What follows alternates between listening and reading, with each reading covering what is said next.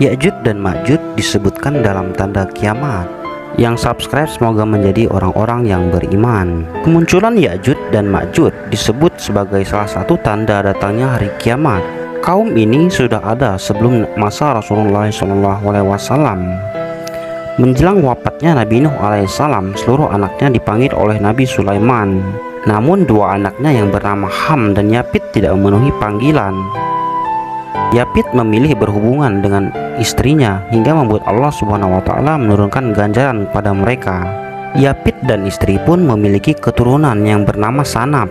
Sanap yang tubuh besar pun mulai menghasilkan banyak keturunan. Anak-anak inilah yang kemudian disebut dengan Ya'jud dan Ma'jud.